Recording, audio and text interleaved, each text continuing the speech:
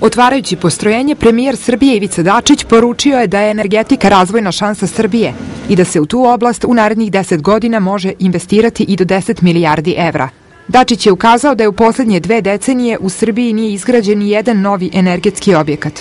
On je rekao da je postrojenje koje je u Vrbasu otvoreno možda malo, ali da predstavlja putokaz koji mogu da krenu mnogo mala, ali i srednja preduzeća. Mi imamo velike kapacitete u oblasti energetike, velike kapacitete u oblasti iskorišćenosti e, obnovljivih izvora energije, što do sada nismo koristili. Reč je o e, energetskim potencijalima kad je reč o vodi, e, vetru, suncu, a ovde je reč o preradi, znači materijala koji hvala Bogu u Srbiji, hvala Bogu u Srbiji ima dosta, ali do sada nije korišćen na ovakav način. Predsednik pokrajinske vlade Bojan Pajtić naveo je da je plan Srbije da do 2020. godine obnovljivi izvori energije učestvuju sa 27% u ukupnom energetskom bilansu zemlje. Mi smo kao pokrajinska vlada investirali 40 miliona preko Fonda za razvoj u Savu Kovačevića i danas je Miroti napravio jedan pilot projekat koji je primer za sve druge kolektive širom Srbije. Mi kao Srbija moramo da dostignemo nivo 27% iskorišćenosti alternativnih, odnosno obnovljivih izvora energije.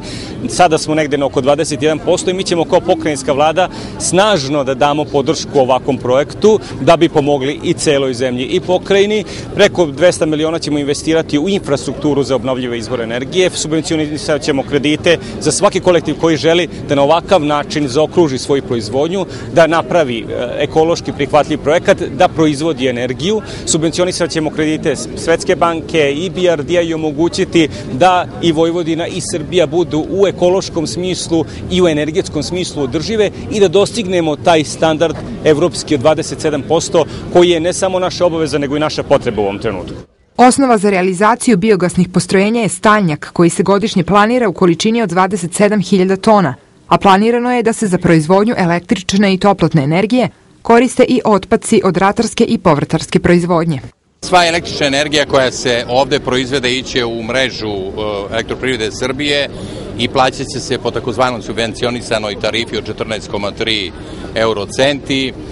Dobar deo toplotne energije koristit ćemo i za naše, za naše potrebe, konkretno za farmu, negde već 300 kW ćemo uposliti već od ovog postrojenja. E, ostalu energiju takođe planiramo da, da u toku razvoja angažujemo druge potencijalne potrošače, gradsku bolnicu sa kojom imamo sporazum o tehničko-poslovnoj saradnji gde bismo im isporučivali toplotnu energiju za nešto ispod, između 20 i 30% jeftinije nego koju sada plaćaju preko prirodnog gasa. Proizvodnja energije iz biogasa je naročito povoljna za zaštitu životne sredine, pošto ne pravi dodatno emitovanje ugljen dioksida i smanjuje količinu organskog porekla. Biogas se može skladištiti, a za razliku od drugih obnovljivih izvora energije poput vetra i sunca, moguće ga je proizvesti bez obzira na klimatske i vremenske uslove.